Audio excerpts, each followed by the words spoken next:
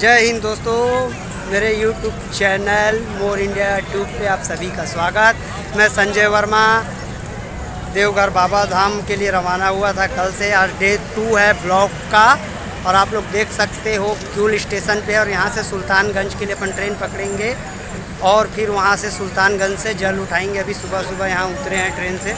चारों तरफ़ देख सकते हो बाबा धाम में जाने के लिए इसी स्टेशन क्यूल पे उतरते हैं सब। देख सकते हो चारों तरफ़ का नज़ारा और ब्लॉग में बनिए रहिए आप लोग। चलते ब्लॉग के ये करे वाला छोटे वाले दोनों ही वाला है बड़े वाला?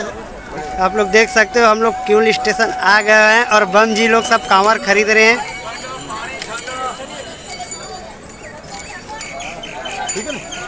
सब हैं ग्रुप।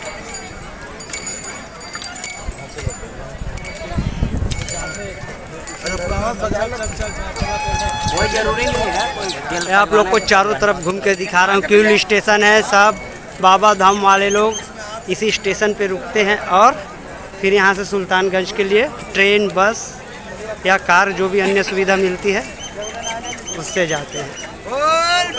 बोल बम ये अपना ट्रेन जिससे अपन कल आए थे 24 घंटा हो गया, पावर हाउस भिलाई से।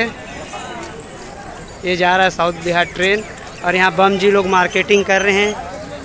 कैसा लगा ट्रेन का सफ़र क्यूल में? सफ़र बहुत अच्छा लगा। ये है कि ढाई घंटे लेट है जो यही प्रॉब्लम गया हाँ। बाकी और बाकी सब ठीक है। बम जी कांवर का रेट कैसे लगाए हो? ओ बम जी। हाँ? एक सौ तीस में दिए हाँ हाँ ठीक। सस्ता लगा रहे हो। अब बहादुर बम का बम चालू हो गया है। हाँ बहादुर बम बताइए भाई। बोल बम। अभी और कितना देर का सफ़र अपना? एक घंटे का। एक घंटा। एक क्यूल स्टेशन दोस्तों यहाँ से फिर एक घंटे का सफ़र सुल्तानगंज के लिए जहाँ से जल उठाएँगे। तो दोस्तों अब हम लोग क्यूल से दूसरा ट्रेन पकड़ चुके हैं सुल्तानगंज के लिए लोकल। फिर यहाँ से अपन कहाँ जाएँगे? सुल्तानगंज गंज बाबा बम बोल बम। बोल बम।